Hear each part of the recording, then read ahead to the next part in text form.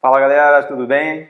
A gente está aqui na Bielorrússia hoje, na capital Minsk, e resolveu retomar um projeto antigo que a gente tinha há dois anos. Olha só quanto tempo, o tempo passa rápido. Não é? Que a gente começou lá na Tailândia, chamado Diário de Bordo, onde a gente mostrava assim o nosso dia a dia, as nossas aventuras, o que a gente fazia lá por lá, mas de forma bastante recente. Então a gente sentiu que faltava é, essa comunicação do que está acontecendo no momento para vocês. A gente tem um, um vlog que eu faço, mas que ele demora muito para ficar pronto, acaba que eu estou atrasada. Estou mostrando coisas ainda de início de novembro. É isso aí. A gente, é, há mais ou menos dois ou três meses, a Paty começou a fazer a produção do nosso vlog, que são vídeos é, muito mais elaborados do que a gente fazia no passado. São vídeos muito bonitos. É, a gente começou a fazer a partir de Paris, quando a gente esteve lá em outubro, depois continuou na Cracóvia. E esses são vídeos que contêm uma quantidade muito grande de cenas, de cenas assim feitas em lugares muito bonitos das cidades, é, muita música, muita interação com outras pessoas. Então é um outro nível de produção e é uma produção que realmente toma muito tempo. A parte tem estado dedicada o tempo todo a fazer esses vlogs, mas é, quando tudo dá certo sai em uma semana e às vezes, como foi o último agora, a, a coisa acabou demorando até demais, foi duas semanas. E aí, por consequência disso, a gente está demorando muito para publicar e a gente já está agora, para você ver, agora a gente está na Bielorrússia e ainda tem que publicar muito material que foi lá da Polônia. Então, para falar um pouco mais né, do que está acontecendo no dia a dia Mas eu demoro, recente, eu estou demorando muito porque eu estou num processo ainda de aprendizado nessa coisa da edição de vídeo. Então é tudo muito novo para mim. Então eu acabei batendo a cabeça em coisas que eu acho que com o tempo ah, eu vou conseguir editar mais rápido. Então talvez eu, eu edite os próximos vídeos, né? É, mas de qualquer tempo. maneira são vídeos grandes e trabalhosos. Assim, é, é muita quantidade de clipes, é muita quantidade de é. músicas, dá trabalho de fazer, não tem jeito. Assim, mesmo que você tenha uma enorme experiência, a natureza do trabalho é uma natureza que demora em si. Então a gente pensou assim, pô, vamos tomar, retomar o diário de bordo, porque assim a gente sente falta de contar um pouco do que está acontecendo no momento, né? Exato. Assim, a, a, coisa do que aconteceu durante a semana, durante, durante os últimos dias. E eu acho que para quem está acompanhando o canal também isso é importante e não apenas ver coisas que aconteceram há muito tempo atrás. Então a gente decidiu retomar essa linha que é a do diário de bordo, especificamente para isso, para serem vídeos mais simples, por exemplo, agora a gente está aqui só sentadinho aqui nessa cadeira, no apartamento que a gente está. Mas é uma cadeira bonita. E é, uma cadeira bonita, que bom. e aqui a gente está, é, vai contar um pouco né, do que aconteceu nesses últimos dias. E vale dizer que a gente tem também no canal uma outra linha que a gente é, criou recentemente, que é uma playlist chamada Quero Ser Nômade, Quero Ser Nômade Digital, na verdade. E é uma playlist que tem uma série de vídeos que são mais instrutivos, que são vídeos que uh, foram gravados no passado e que descrevem em mais detalhes assim como é que a gente faz para tocar os aspectos dessa vida e tudo mais. E é, são vídeos também com uma produção muito simples, mas com um conteúdo, na maioria das vezes, muito bom, é, muito informativo. E a gente vai começar a criar também, ao longo do tempo, outros vídeos para essa linha também, do canal, que são vídeos é, ainda mais instrutivos, também com uma produção melhor. Então, assim, hoje em dia o canal tem essas três linhas, né, essas três playlists que são importantes. Uma é o vlog, com esses vídeos super bem produzidos que a parte está fazendo, uh, que está no episódio número 12, inclusive. É, o Diário de Bordo. aqui marcado para vocês. Isso, vale conhecer. muito a pena conferir. A gente tem o Diário de Bordo, que agora a gente está retomando com esse vídeo aqui e vai contar as coisas que estão acontecendo no dia a dia mais recente. E tem essa linha que é Quero Ser Nômade Digital, que é para quem está afim de aprender mais sobre como é que faz para ter uma vida como essa. E aí são os vídeos de lá que vão ajudar nesse sentido. É, também não são super produções como os vídeos do vlog. Exatamente. Pois é, a gente veio para cá por uma razão muito inusitada. É verdade. Por que, que a gente veio para cá? a gente estava numa uma das, dos eventos do Couchsurfing, que a gente vai com o objetivo de fazer amigos, e nesse evento em específico, no, já, a gente estava no finalzinho, quando a gente encontrou uma menina chamada Vitória. Isso lá na Cracóvia, né? Isso, isso lá na Cracóvia. Isso é tipo em torno do dia 18 de novembro. Exato, é. a gente encontrou a Vitória e ela era bielorrussa. E ela comentou com a gente, meio que en passant, perguntou se a gente sabia que em uma semana dali, daquele dia para frente, é, o visto para brasileiros na Bielorrússia ia ser, é, não ia ser mais necessário. O Ivi não sabia. Não, eu não sabia. O que eu acabou... sabia é que aqui na Europa, né, de um modo geral, o brasileiro não precisa de visto para lugar nenhum, exceto esses dois países que na época eram a Bielorrússia e a Moldávia. E esses dois países já tinham assinado acordos né, com o Brasil para poder eliminar os vistos, só que eles ainda estavam no processo de implementação. A, a Moldávia, por exemplo, ainda está nesse processo de implementação, mas felizmente, a, a, no caso da Bielorrússia, né, esse processo chegou ao final e então, a partir do dia 25 de novembro de 2016, passaria a ser possível para brasileiros virem para a Bielorrússia para passar até três meses e a mesma coisa, né, o pessoal da Bielorrússia poderia visitar o Brasil por até três meses sem necessidade de visto. Então, isso foi uma notícia nova que a gente assim não sabia. A gente ainda não tinha visitado a Bielorrússia em parte por conta dessa necessidade do visto. A gente sabia que era um visto meio complicado de ter e tudo mais. Então, foi uma notícia legal. Quando a gente soube disso, a gente falou, hum, interessante, né? É, na verdade, eu nem conhecia a Bielorrússia. Eu, eu tinha ouvido falar nesse nome, mas eu não sabia nem qual era a capital da Bielorrússia, é, enfim, não sabia praticamente nada sobre a Bielorrússia. Então, para mim, é sempre bom, é sempre um bom negócio a gente descobrir alguma coisa nova sobre um país que a gente nunca tinha ouvido falar praticamente na vida. Então, foi ótimo.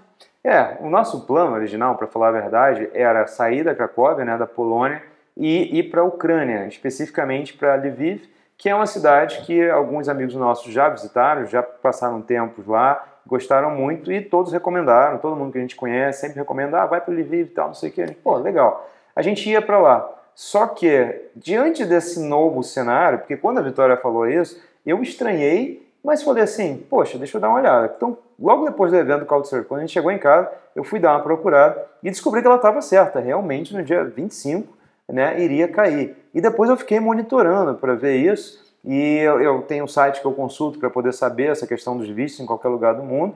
E foi engraçado, porque no dia 26, assim que amanheceu o dia, a primeira coisa que eu fiz foi consultar esse site para ver se ele já tinha mudado a informação.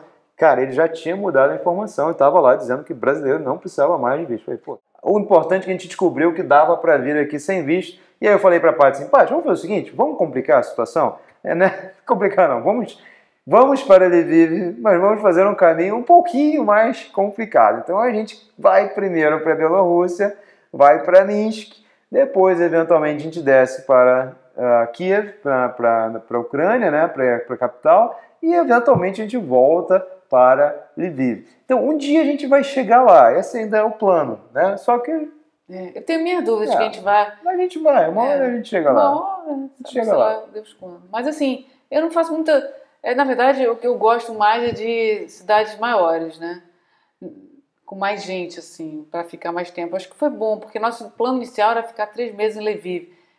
Talvez eu não ia aguentar ficar três meses em um lugar tão pequenininho. Mas é, enfim, não sei. Vamos ver, vamos ver. Vamos ver. É. É. Agora, a questão é, estava muito frio. Tá. A gente estava, quando a gente decidiu vir para cá, no início do inverno. E aqui as temperaturas vão até menos 30. Uhum. Aí eu, a gente pensou, hum, será que vai ser bom a gente enfrentar esse invernão na Bielorrússia? Mas aí o Vivi tem uma teoria muito curiosa.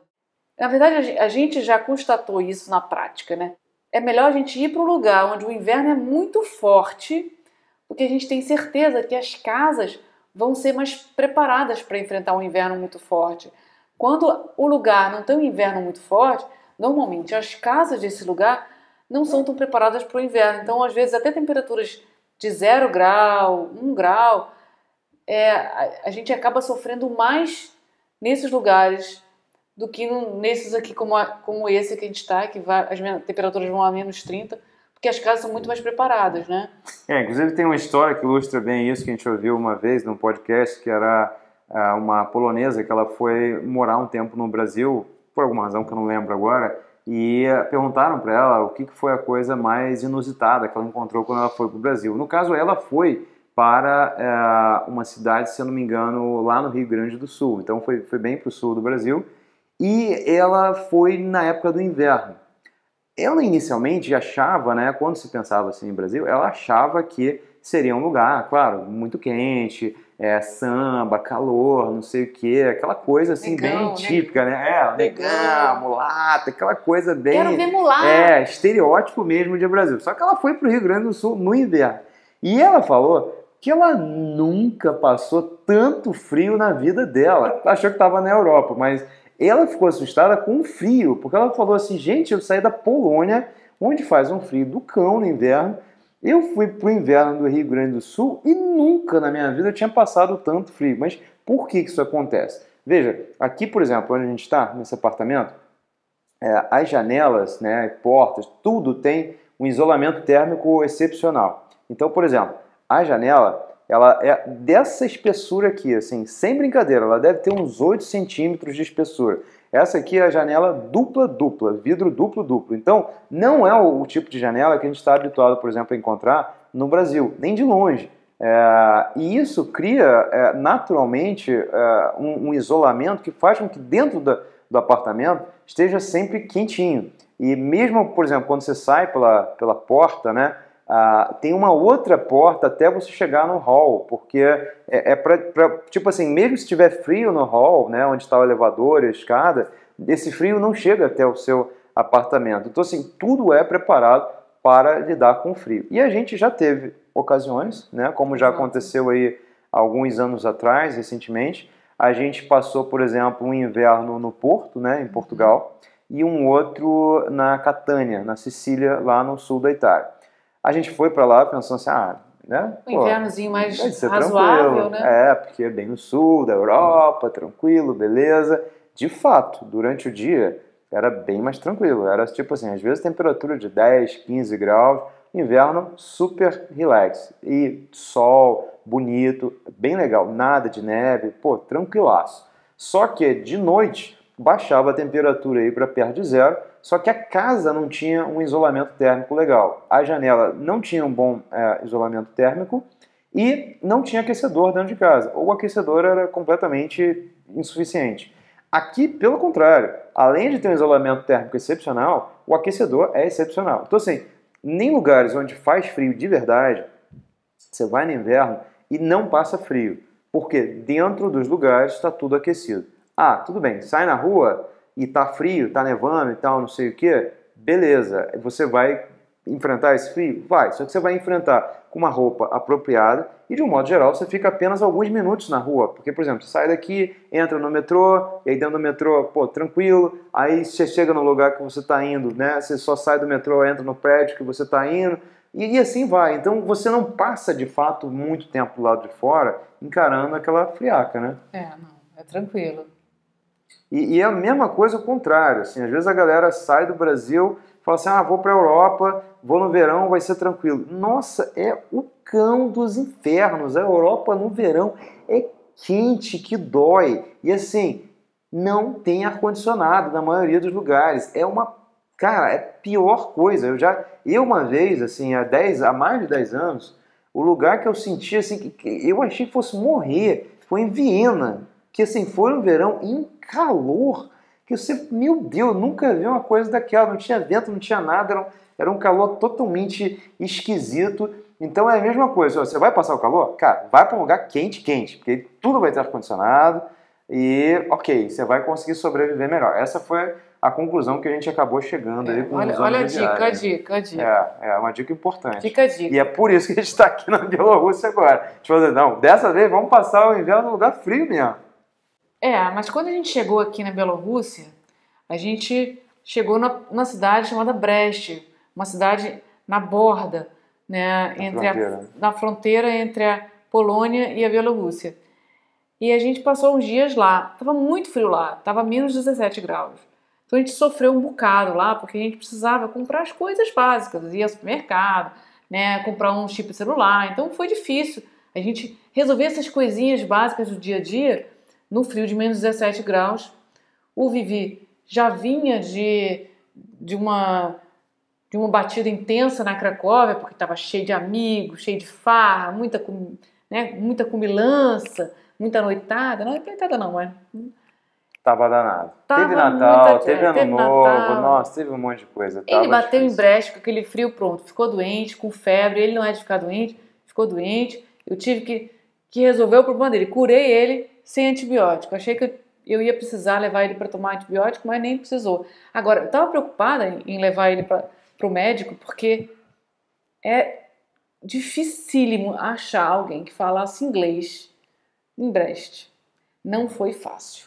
É, a gente infelizmente não teve que embarcar nessa Não. jornada aí. Mas eu, eu imagino que ia ser A gente ia acabar apelando pra nossa host lá, que foi Mas, super mas nem o inglês e- dela, o inglês da nossa É, host era, era muito básico, É, era muito básico, era difícil de entender o que ela falava, era, tinha muito, muito, muita mímica, mas era difícil. A gente ia apelar pra ela, mas ia ser complicado do mesmo jeito. E, Talvez é, se a gente tivesse pe- a gente fosse pegar aquela garçonete, porque foi a única pessoa que falava inglês, foi uma garçonete É mesmo. que trabalhava num Ela restaurante. lá. tava sendo totalmente desperdiçada naquele restaurante. Mas enfim, depois eu conto num próximo episódio aí o que, que eu fiz pra curar o Vivi, né? Aguarde pra ver. Quando eu, tive essa ideia de vir para cá, para Bielorrússia, eu comecei a pesquisar e vi que existiam alguns trens internacionais que faziam esse trajeto, assim como alguns ônibus. Mas, de um modo geral, era, era um tanto caro e também ah, demorado demais, sabe? Mas, cavucando um pouco mais, eu descobri que tinha uma estratégia que faria a gente economizar bastante. A gente podia pegar um trem da Cracóvia até uma cidade polonesa chamada Terespol. Então, Terespol é a cidade que fica na fronteira com a Bielorrússia e é uma cidade que tem um trem direto, assim, da Cracóvia até Terespol. Falei, pô, bacana, já começamos bem. São seis horas e meia de trem, dá para levar na boa. E aí, quando chegasse em Terespol, você podia pegar um trenzinho que era só fazia esse trajeto, Terespol até Brest. Brest é a primeira cidade já do lado é, da Bielorrússia.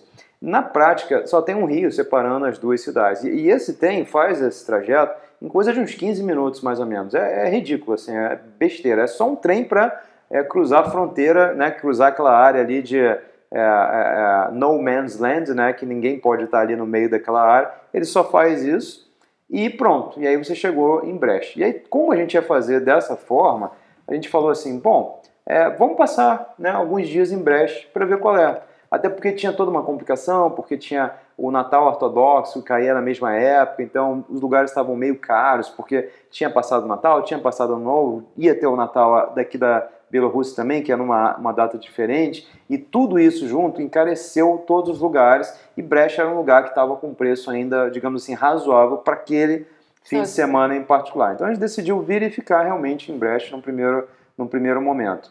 E depois, então, a gente pegaria um trem para a Bielorrússia. É, Esse, esse processo, ele equivalia, do ponto de vista de preço, a um terço do gasto que a gente teria se realmente tivesse pego um trem ou um ônibus internacional. Então, foi ótimo para a gente economizar. É, depois que você chega dentro da Bielorrússia, é, o transporte é ridiculamente barato, é, o transporte interno, né? Então, tipo, o trem de Brest para cá, para Minsk, eu acho que foi coisa de 10 reais para cada um, assim, é baratíssimo, é muito tranquilo. É igual, tipo, o metrô aqui dentro de Minsk, que custa menos de um real. Então, as coisas são realmente muito tranquilas é, do ponto de vista de transporte, né? Mas o transporte internacional acaba saindo caro. E esse transportezinho, né, que eu falei que só cruzava de uma cidade para outra e atravessava o rio, era baratinho também, então sem problema. É. A gente, esse trenzinho que fazia esse, é, esse cruzamento entre nessa terra de ninguém Uhum. era muito fofo, gente, porque era um trenzinho vintage. É muito, muito, muito fofo. Eu me senti nos anos 40. Adorei. Foi uma experiência legal. E a gente até viajou de, mim, de Brest para Minsk num, num trenzinho vintage. Amei, amei mesmo. Eram os bancos, não eram, assim, na verdade, não eram, não eram poltronas, eram bancos assim. E tinham quatro, dava para quatro pessoas deitar, dormir. Tinha é, edredom, cobertores, travesseiros. Foi muito legal. Bom, mas esse trenzinho vintage foi muito bacana, mas foi rápido. Essa nossa 15 viagem, minutinhos. 15 minutinhos, foi rápido. Aí a gente chegou para passar a imigração, né? Exato. E aí a gente tava numa fila, a gente era o último da fila, E a gente estava um pouco apreensivo, vivia apreensivo, porque eu tô sempre, ai, que legal, olha que bonitinho, eu sempre desligado. O Vivi nervoso, preocupado, né? Porque ele achava que as pessoas dali podiam não saber que né, o brasileiro não precisaria de visto para entrar na Bielorrússia, É, que era uma coisa- decisão nova. É, era uma coisa nova, né? É, então, Vai que. É. Então a gente ficou na fila esperando. E quando a gente chegou a nossa vez, eu fui cumprimentar o, o- o oficial lá que estava recebendo as pessoas. Eu falei, hello. Aí ele, ele foi impactante na resposta dele. Ele respondeu assim: Is it me you're looking for? e a gente assim olhou para aquilo e falou: Meu Deus. Que Caiu da risada. Ele cantou a música do Lionel Richie. Hello, is it me you're looking for? I can see in your eyes, I can see in your smile. Você pode imaginar isso? O oficial de imigração, ele dá um oi pra você, a primeira coisa que ele faz é cantar uma música dessa, gente. A música da nossa época. da nossa época, né? Você- E ele era novinho, né, cara? É engraçado ele cantar essa música. Curioso aqui.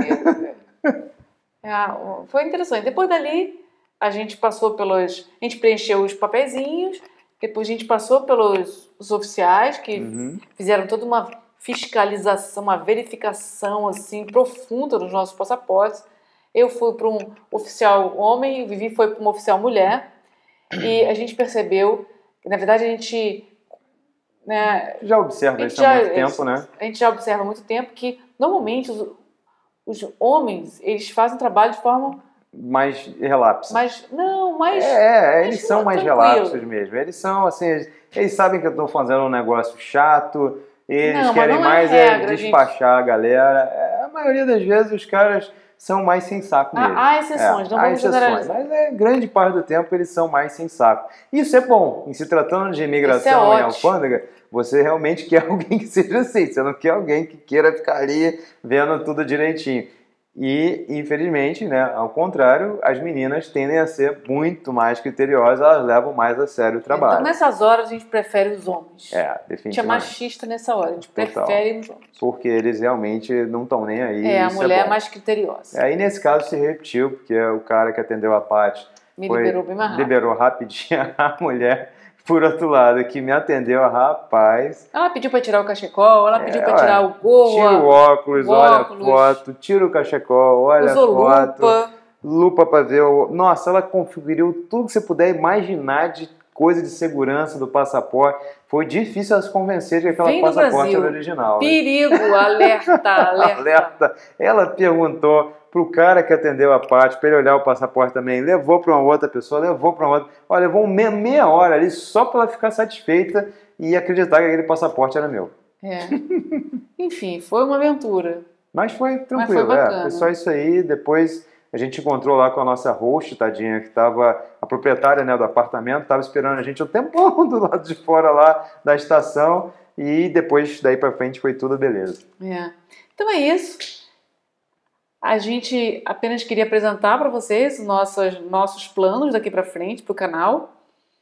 A gente espera que vocês gostem, que acompanhem um pouquinho mais da nossa, do nosso dia a dia, das nossas aventuras. A ideia é publicar com mais frequência, Isso. diário de bordo, né? Isso é, com mais contar... frequência. Eu nem vou falar É. quanto para a gente não se É, comprometer. acho que- mas a ideia é essa, para a gente poder contar o que está acontecendo no momento e não o que É, aconteceu há, meses anos atrás. atrás. É, é Exato. E é isso. Pode botar aí nos comentários o que você quiser saber, né? Alguma dúvida sobre a Bielorrússia. Já ouviu falar na Bielorrússia? Eu não, não tinha ouvido falar direito antes, né? Olha, está sendo uma experiência muito boa, em vários É, aspectos está sendo muito útil porque a gente tem que fazer aqui, que eu estou escrevendo o livro, preciso terminar, então estou super focado aqui no livro, a parte está produzindo os vídeos, a gente está cheio de amigo aqui, isso é um capítulo à parte, que tem muito para falar, mas a galera aqui é nota mil, assim, cara, sensacional. É verdade. A galera aqui, porra, muito, muito gente boa mesmo, como a gente não vê há muito tempo, né? Então, É, em quantidade, porra, né? Quantidade e, e, assim, pessoal, cara, amigo legal, sabe? É, é bacana. A gente está muito, se sentindo muito bem acolhido aqui. Exato, exato. Muito bacana. Até a próxima. Tchau, tchau.